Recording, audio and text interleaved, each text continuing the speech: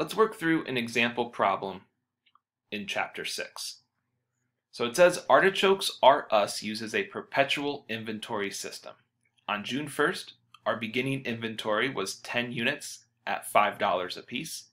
We made a purchase on June 5th of 15 units at $6 a piece. On June 10th, we sold 10 units. On June 12th, we purchased 20 more units, this time $8 a piece. And then to round out the month, we sold 25 units on June 28th. So we're going to use the moving average cost method to find the cost of goods sold and the ending inventory in this problem.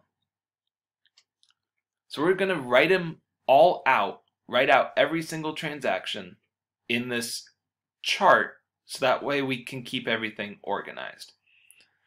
So the first piece of information that we need to write is what we are told about June 1st and the beginning inventory. So the beginning inventory goes in that first column. We write 10 at $5 for 10 units at $5 a piece equals $50. We get that by taking our number of units and multiplying it by our unit cost. Well, that wasn't just our beginning inventory on that day. That was also the ending inventory on June 1st. So we write that same piece over in the ending inventory section of this table as well. Then on June 5th, we purchased some units. So under the purchases column, we write 15 at $6 a piece equals $90. We get that by taking 15 times 6. Then you'll notice over in the ending inventory, this is where things are a little bit different under this method compared to FIFO and LIFO. Under FIFO and LIFO, we wanted to keep our inventories separate. When we're doing the average cost method, we want to combine our inventories.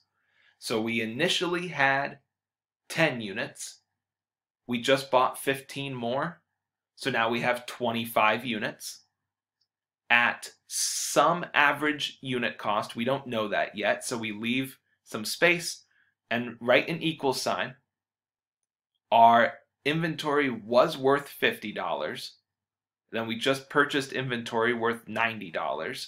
So 50 plus 90 equals that 140 that you see over for your ending inventory.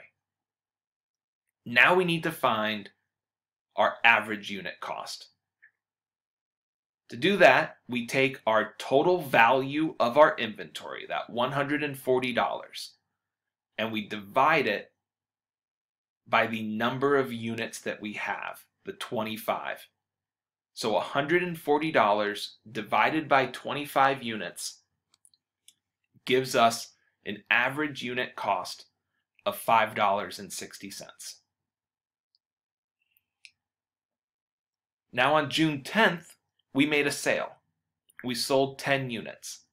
So under the cost of goods sold section, we write 10 at $5.60. We take that from the most recent average unit cost.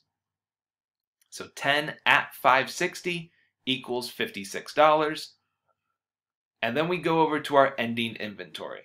And you'll notice that that average unit cost did not change over there. So that average unit cost, the $5 or the $5.60 that we have in this problem, that only changes whenever there's a purchase. When there's a sale, it remains the same. So we had 25 units, we sold 10 of them, so we have 15 left. So 15 units at $5.60 equals $84. Now here on the 12th, we purchased 20 more units at $8 a piece this time. So we write that over in our purchases column. 20 at 8 equals $160. Then we go over to the ending inventory. We had 15 units. We just bought 20 more. So now we have 35 units in our inventory. So we write out that 35 at some unit cost, right? Now we made another purchase, so that average unit cost is going to change. But before we can find that average unit cost, we need to find the total value of our inventory first. So our inventory was worth $84. We just bought inventory worth 160. So 84 plus 160 equals that $244 that you see in the ending inventory column. So the step now to find our average unit cost is to take that $244 and divide it by 35, our number of units.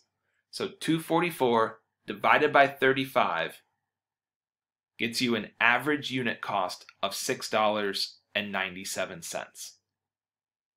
So we write that there for our average unit cost. Now, our final day on June 28th, we made another sale. So we sold 25 units at $6.97, the most recent average unit cost, and 25 times $6.97 comes out to $174.25 approximately, right? We're rounding in this problem. So a lot of these numbers are approximates. Then, our ending inventory, we had 35 units. We sold 25 of them.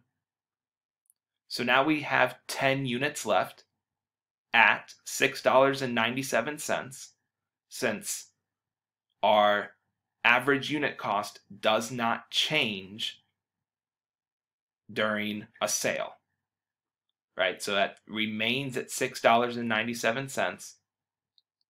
10 times 697 gets us our $69.70 as our value of our inventory on June 28th. So now we can find our cost of goods sold. So we are going to just be looking at our cost of goods sold column right here. We made sales on the 10th and the 28th.